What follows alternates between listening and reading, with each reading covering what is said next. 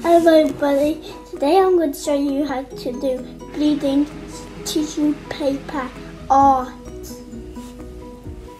What you need is pipettes, a tray with um, paper, um, kitchen paper in there, and some water with a food colouring.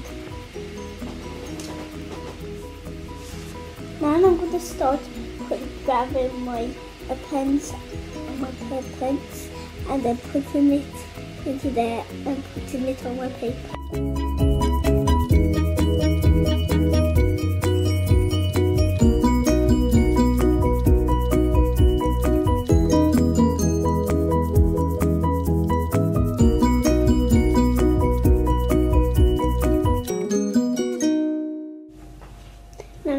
I'm going to fill over it with some water.